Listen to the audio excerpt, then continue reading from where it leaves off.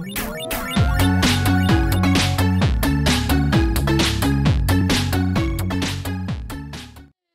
Artistic Gamer 7 and I'm back here with another Create-A-Sim video. When I was still taking flower requests, I got a request for dandelions. So this is, I forgot to get around to them, but here they are now. So, um, technically I did this one slightly different. So, dandelions are, uh, typically wild, especially from where I'm at. They're a wildflower and they're literally everywhere. But there's the yellow flower, and then there's also the little like little puff flower that you see like kids love to blow on and all that stuff and make them go everywhere. That's the seed pod thing, basically. So uh, I decided to actually make two sims for this one instead of one sim. So one is representing like the seed pod, the white little puff ball, and that is the male sim, which I've named him Dan Lion.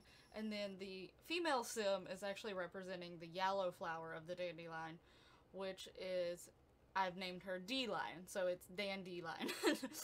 Creative, right?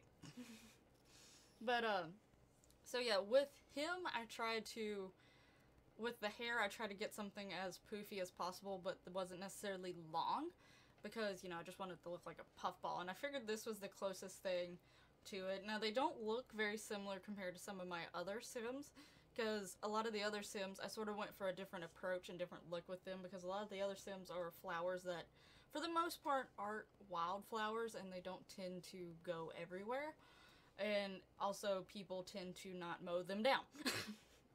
so basically these are like the pretty and famous flowers but at the same time the ones that not necessarily everyone wants.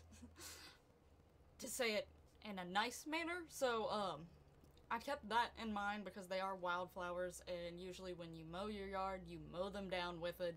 It's not like your flowers that you put out in your garden or hang in baskets or do whatever um, decorating with. But um, I also tried to, so I sort of went more of a relaxed, lazy look for him, particular and I tried to get his clothes to be more closer to the stem color and the color of like the rest of the plant versus the little seed pod on the top.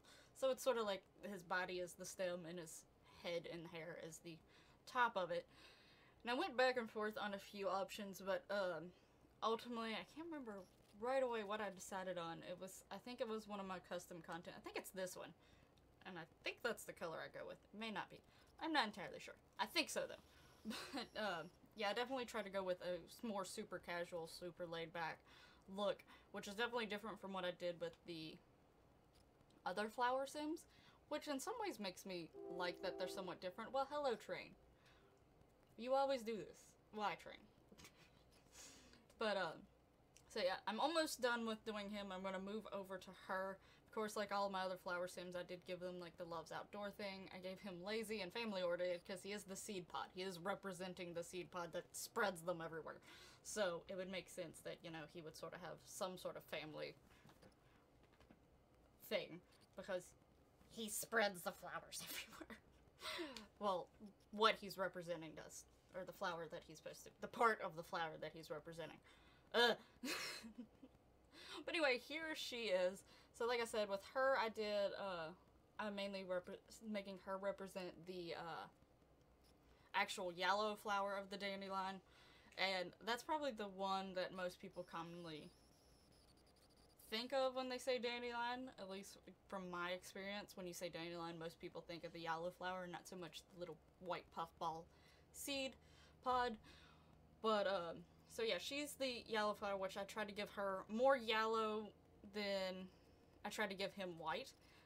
I feel like recently I've done a lot of Sims that are wearing a lot of white and their hair is white, so that's also another reason why I went a different approach with him.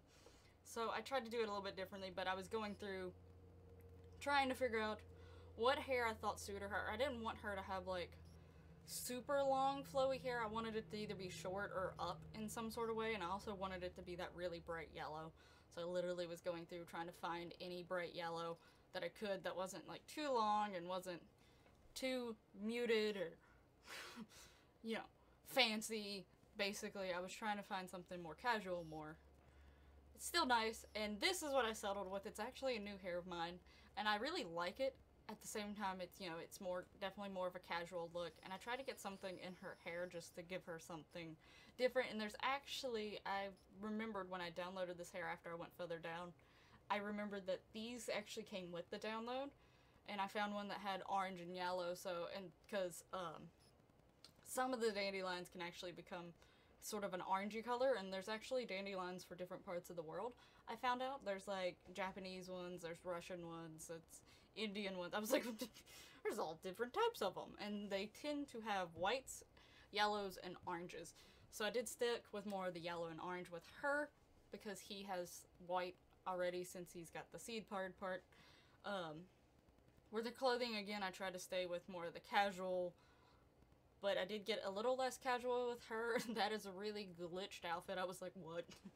so that outfit's gonna have to go, but um, casual but nice and cute all at the same time, and like she's trying to be nice looking and fancy, but you know, she may not fit.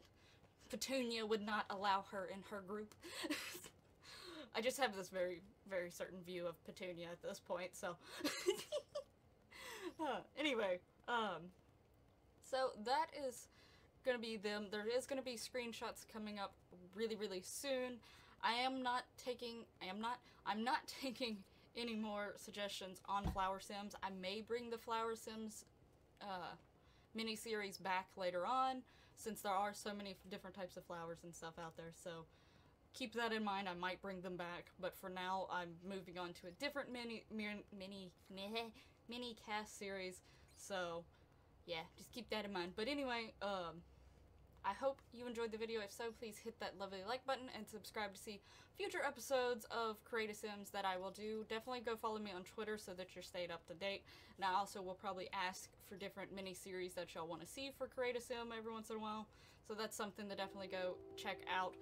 Um, my Twitter, along with the other social medias, will be down in that description so you can go find those. All of my Sims 4 playlists will be down there as well, so if you want to go watch any of those, they will be down there so you can go click on them and watch them. And that's that is it. I, I really hope you like how they turned out. I like how they turned out. They're much different from the other flower sims, but in the but at the same time I really like the fact that they are different. But anyway, thank you so so much for watching, and I'll see you in the next one. Bye-bye!